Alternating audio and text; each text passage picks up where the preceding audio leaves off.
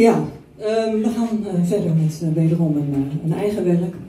Ja, en ik moet bekennen, deze eerste set gaat toch eigenlijk wel heel veel over mannen. Ik weet niet hoe het komt. Het gebeurt vanzelf. En um, ja, eigenlijk hoop je die man dan toch te vinden. Ja. Acht van de tien nummers gaan natuurlijk toch over lieve mannen, vrouwen Yeah, a man like you.